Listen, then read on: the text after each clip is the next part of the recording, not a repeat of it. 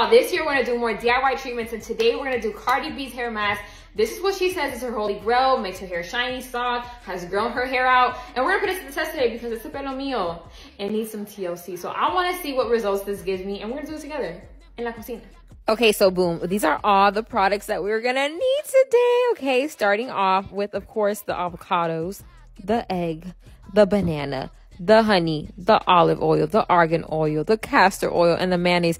Ella puso mucho, mucho honesto. But anyway, screenshot this in case you also want to try this treatment out. You know that sound on TikTok where it's like, you better fix my entire life. That's how I felt while I was making this because it's just like, it took a long time. It got messy and my hair really needed it. And I was just like, I hope you work. I just hope you do. No, girl, but Cardi B's hair has grown so much from this. And I was just really excited because everything was coming together and like, look at how this looks.